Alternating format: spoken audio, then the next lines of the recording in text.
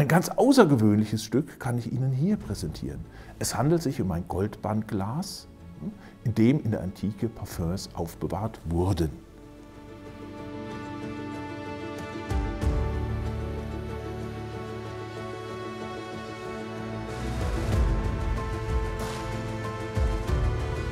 Bemerkenswert ist vor allem sein Abschluss.